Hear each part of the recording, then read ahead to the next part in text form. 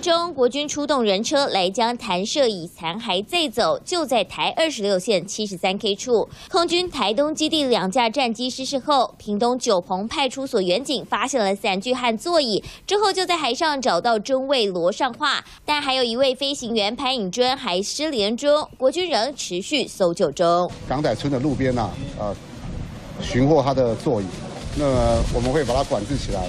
今天啊，连夜会送回第六联队的基地来做后续的鉴定。那么今天晚上啊，会持续做暗季的搜救。地面兵力由鹅銮鼻出发，沿台二十六号线往北至支航基地执行沿线的地面搜救作业。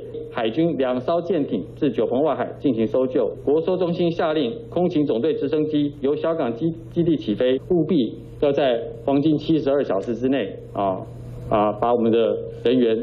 希望能够有好消息搜救回来。军方漏夜搜寻，在暗季打照明弹照亮夜空，海巡舰艇也以探照灯增加亮度。不过，东海岸续海渔港周边海域最大阵风达到十级，从鹅銮鼻到台东大武沿海都是大浪，浪高预估有四到七米，也让搜救更困难。但即便天黑，搜救工作不间断，就盼能有好消息。